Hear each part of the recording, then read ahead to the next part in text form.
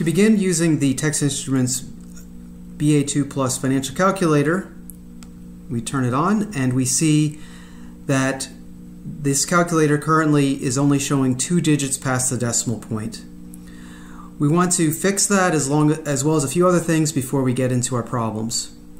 I want to see more digits than just two places. So I'm going to press the second button up here in the upper left and then press the decimal button which above that says format and we see that it says DEC for decimal equals 2 because it's only showing us two places.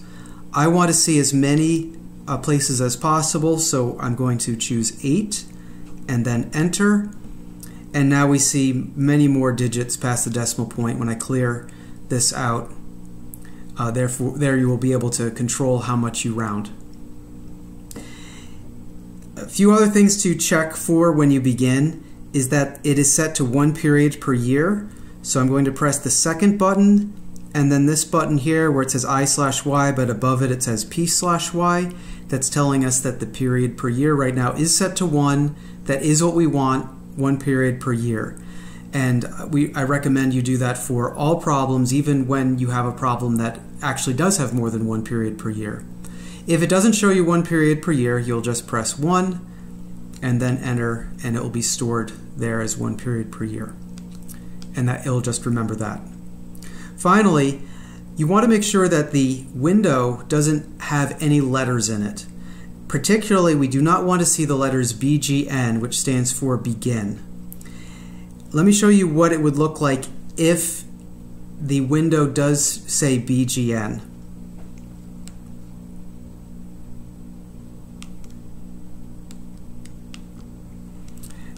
So we see now that it says BGN at the top.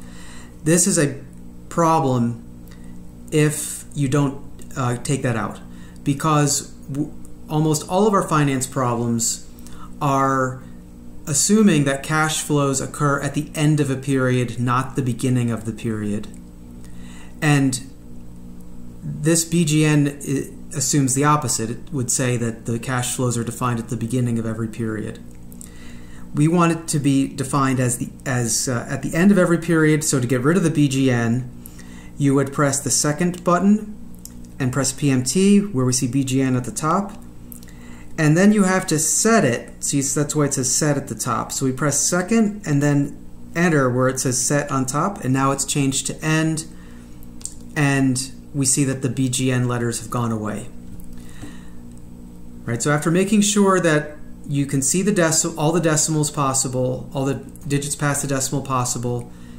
The periods are set to one period per year, and there's no BGN in the screen. We're ready to do our problems. First kind of problem I want to show you is using this third row here. This stands for number of periods, interest rate, present value, payment, and future value. If I want to compute any one of these five, I'm going to enter the arguments and then solve for what's left.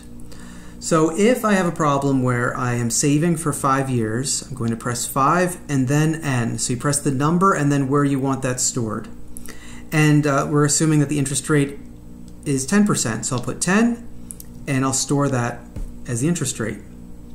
And let's suppose my account starts with $100. So I'm going to put in 100 and then press PV for present value.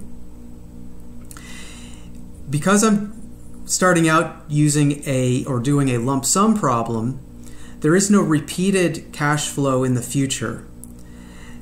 The PMT uh, value for payment would be for repeated cash flows. Since the problem I'm doing right now doesn't involve that, I want to make sure that there's a zero stored for PMT. That's the default value. And I'm solving for the future value, so how much I would have in my account in five years. So I'm going to use the FV button for future value, but I can't just press FV. I have to tell the calculator I want it to compute FV, so I'm going to press the CPT button for compute, and then FV. And then it gives me the future value with a negative in front of it. So the future value of the $100 in five years at 10% is $161.05. The calculator will always put in the opposite sign whenever you uh, for whatever cash flow you're solving for. And you just need to know that you can drop that sign. The future value of a positive number has to be positive, and you know this will be explained more in your finance classes uh, with regard to what, why the calculator wants to put that negative sign in there. Uh, it is important to recognize that that's how the calculator thinks, and if you were to solve for a value like the interest rate or number of periods where you would have to put in both the present value and the future value, um, then one of them would have to be negative and the other positive, or else it won't give an answer. Um, and if you want to make sure that your um, everything is cleared out when you do your next problem, you can press second and then clear TVM, uh, which is above the FV button. Second, clear TVM. And uh, then you see that as I press all the other buttons, nothing is stored in there. Next, I want to address how you would calculate the present value of a stream of cash flows, particularly one that doesn't have to follow any pattern. This is sometimes called the uneven cash flow stream problem, or as I prefer, general cash flow stream problem. To handle that kind of problem, I need to use the cash flow register, so that's CF there. Now, when I start, I may have values left in from a previous problem, and I want to make sure that nothing from a previous problem is left in there. So to make sure it's clear, as you can see, indeed, there was a value, uh, I'm going to press CF and then clear everything out in the cash flow register by pressing second and then the clear work button at the bottom there. And now everything is uh, starts out fresh. Let's suppose that my problem has negative 100 as the first cash flow. So I'm going to put in 100, then the plus minus button, and then enter. So now negative 100 is stored as the cash flow at period zero. Press the down arrow key to go to the next cash flow period.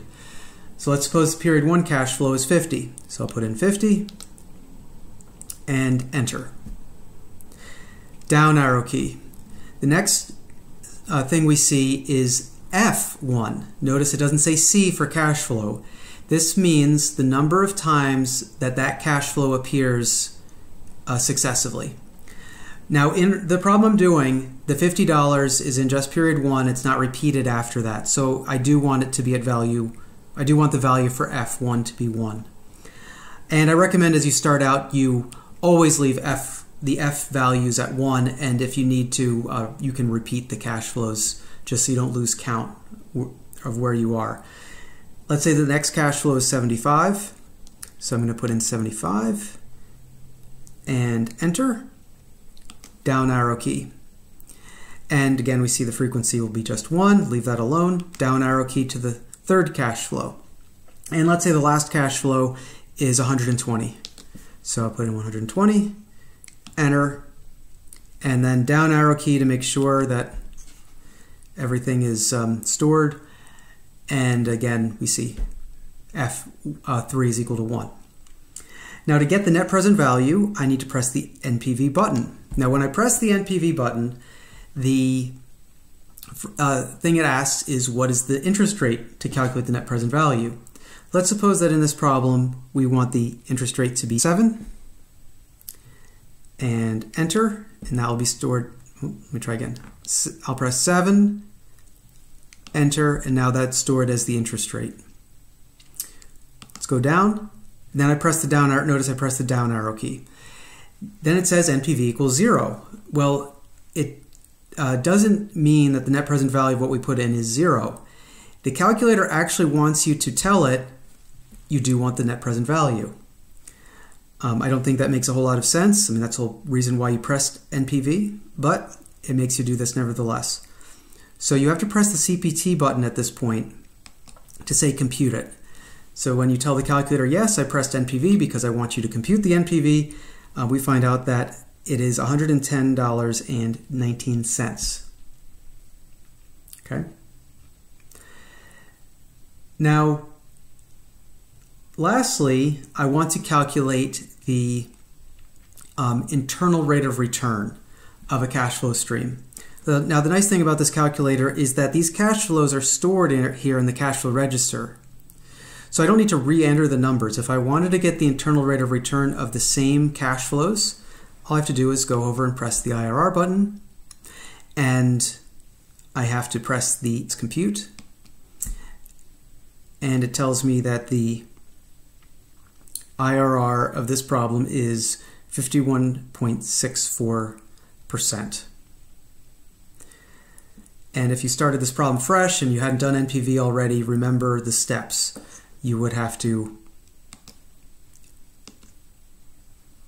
sorry, you go to the, you would have to go to the cash flow register. You would have to clear everything out by doing second clear work, and then you would start over, enter the cash flows, and then press the IRR button and then compute.